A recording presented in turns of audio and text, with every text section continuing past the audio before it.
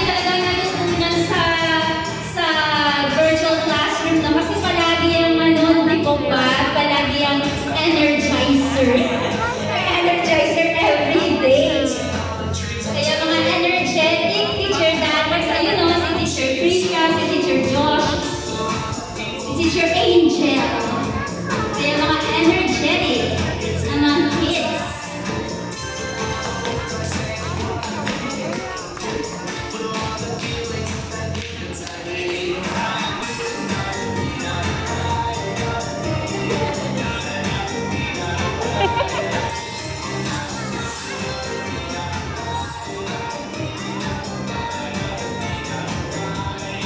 Tina? Ayan na, sobrang lakas ng energy ni Nathan, ano? Ayan, very good.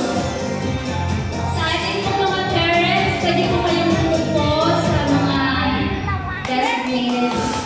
Si pwede po kayo makahod. Ayan po, thank you